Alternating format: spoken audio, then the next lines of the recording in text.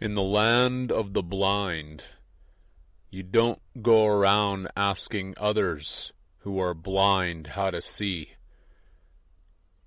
You just don't do that. It's not a good idea. Because the most important aspect about this all is seeing what no one else can see. And when you're walking around in the land of the blind, in the land of darkness, and you know that it's dark, that's seeing what no one else can see. And when you see what no one else can see, you know where to go. You know what to do. Or at the very least, you have a much better indication of where to go and what to do. Otherwise, just like the old adage, it's the blind leading the blind, getting nowhere, just going around in circles, completely lost, but believing wholeheartedly or whole mindedly, I should say, that they're getting somewhere. And that's just chasing the tail of the dog, obviously.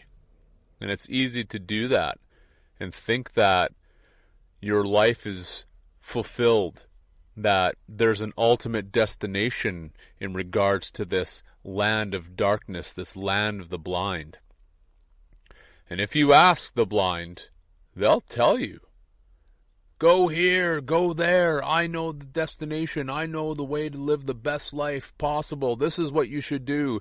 They've all got the perfect opinion or set of ideas in terms of the direction that one should go. And if you ask for their opinion, they're more than willing to give that opinion. And they'll direct you. Absolutely. So it's just not a good idea to do that. Because how many even know that they're in the land of the blind? And of course, yeah, it said, who's the king? Well, the one eyed man or being is the king, and that's just the artificial intelligence, obviously. So it's an artificial idea, this complete fakeness that's the ruler over everything.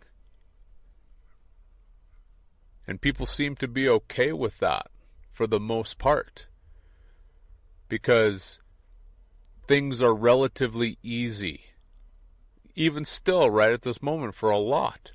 And that's, as I said before, it's propping its system up in as many ways as possible, allowing as much comfort as possible to create the belief in its system, in its way of doing things. That's what it wants. And so many do. They don't think there's anywhere better than this. This is heaven. As I said, this is hell's version of heaven, and people are pretty damn happy with it. Look around. You know, there's a lot of satisfaction, generally speaking, with this place. People really don't want to leave. They don't think that there is anything better than this. Forget about a different concept of heaven. You're in it here it is, especially in regards to Western lifestyles when one has a padded bank account, a good job, friends, family, you know, that uh, they get to see every day. Just generally a good lifestyle. And again, this system at this point in time has afforded the opportunity to ensure that a large portion of the population is situated in that type of opportunity of lifestyle and not needing to be around anyone who isn't afforded that opportunity. So just push the poor into third world countries, as I said, or just out in the street, out of sight, out of mind kind of thing. You can just ignore all of those plights quite easily. And that's what it wants. And it does a fairly good job of hiding the, those things, those aspects. And people are content to not have to witness them if they're living a very comfortable lifestyle with all of the amenities and trimmings, if you will. So it's easy to just step over someone that's homeless. You don't have to care. And if one of the major chains asks if you would like to donate a dollar today or some kind of garbage like that, you can give your dollar and feel good about yourself that you just gave to charity. And I am such a good person. Look what I did today. I gave my dollar at Walmart or wherever the hell that they are asking for it. And it's just all a bunch of hocus pocus. It's all just a ruse. And the mentalities that go along with it are very egotistical indeed. This needs to be looked into. And of course, if one is couched into all of that, that really needs to be readily observed. If one is an adherent to the way that this system is set up and doesn't want it to change, you're just generally happy with the scope and the vision of things. And of course, it's a blind vision because it's the land of the one eyed king. And his vision is one of keeping everyone in darkness while getting everyone who's in the system to believe that they're not in the dark and that they're not blind. That they truly do see because the aspect of vision isn't understood. There's no clarity to it. There's a lot to vision that very few, if any, are getting. Really, what it's about. And what I've meant by there being two crowns or two visions. One is blind, which is the false vision, obviously, and one is the truth, which is actual vision, actual seeing. And so I've got into this quite extensively, and that's really just what it comes down to. That's the root aspect of it. So, one of the main things that I've been doing here is saying what I see. I'm just saying it. And some get it, and others don't.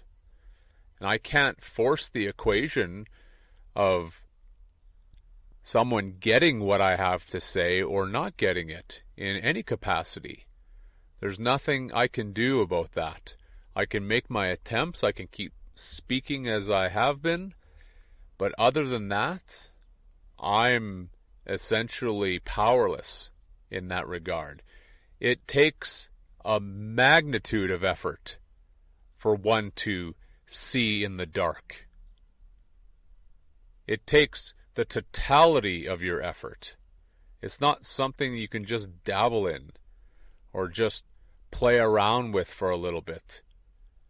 You have to be giving a concerted effort towards this every waking moment of your existence. I'm not exaggerating. Every single moment of your life needs to be dedicated to seeing to actually being the witness, as I've said years ago. What does that mean? Yeah, it's it's not just making some declarations just because they sound nice or one wants to just declare that they're a beacon for freedom. Anyone can do that. A lot of people uh, do that.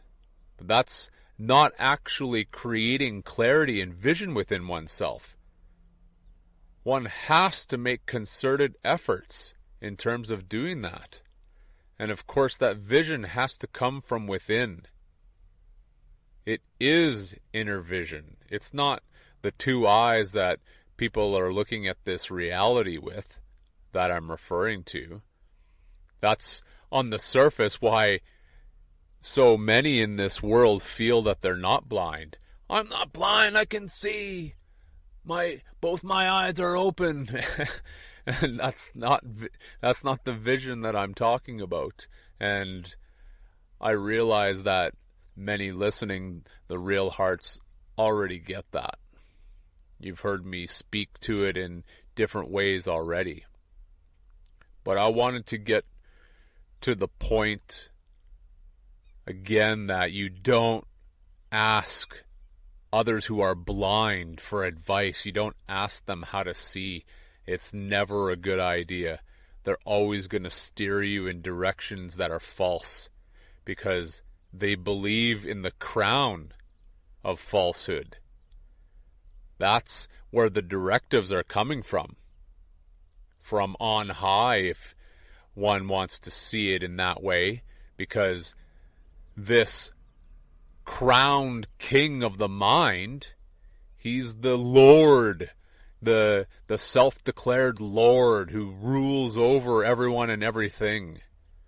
Bow down before me, all you slaves. And many do. I mean, some people have mentioned the, the great coronation of the king that just happened. And look at how many just bow down to that bullshit. It's just absolute bullshit. Like, who is that Joker? He's no king. He's just a loser. He's a schmuck. He's nobody. He's just someone representing a symbol. The symbol of this artificial intelligence that just crowns itself the victor over everyone and everything to make everyone a servant to its system. So, this coronation and this quote unquote king is just a symbolic representation of the same damn thing. Bow down before me, all of you minions. I am the ruler over you. I am your lord. And it's just a joke. And of course, yeah, there's all the symbolic reflections to the corona, the coronavirus. A lot of people obviously got this right at the beginning. Yeah, corona means crown. But as I say, there's a second crown, which is the true crown. And that's what's coming back. In my belief, obviously. And where the real court is going to take place. And the true king is returning. The truth is coming back to end the lie, to end all of the lies, all of the fictions. That's what this is about. And so, yeah, it's about bringing light, true light again, to a kingdom that's been enshrouded in darkness for far too long. So when the true light comes back, all darkness is expelled for good. All right, everyone. Be safe. Take care. Talk to you again.